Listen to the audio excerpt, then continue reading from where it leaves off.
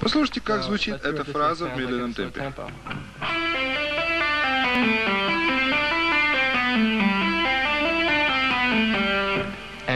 И на скорости.